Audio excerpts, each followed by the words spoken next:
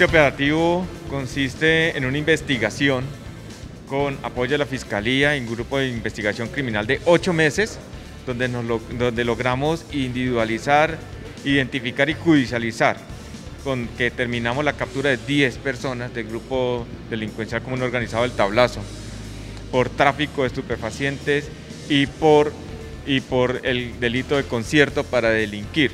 Este grupo delincuencial a través del microtráfico tenía unas rentas criminales anuales de más de 592 millones de pesos.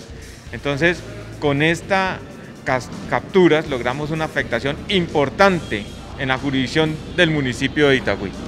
Coronel, muchas gracias. También nos encontramos con el alcalde José Fernando Alcalde. Cuéntenos sobre la importancia de estas capturas, específicamente en el sector de Playa Rica.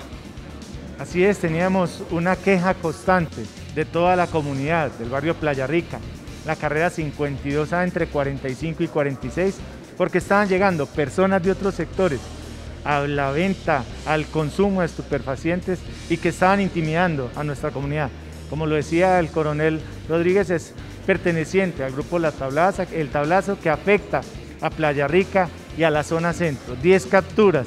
Este es un esfuerzo institucional grande de la mano de nuestra Policía Nacional que venía adelantando inteligencia gracias a la denuncia ciudadana. Por eso invitamos a la comunidad a que siga denunciando esos casos de microtráfico que conducen también en nuestra ciudad a los homicidios.